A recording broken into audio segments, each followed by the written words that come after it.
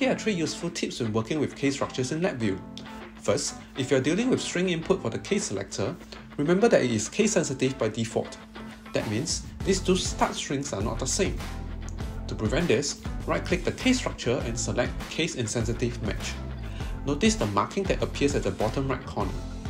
Second, if you have an input to the case structure that you would like to use for the case selector, just right-click on the tunnel and select Replace with Case Selector.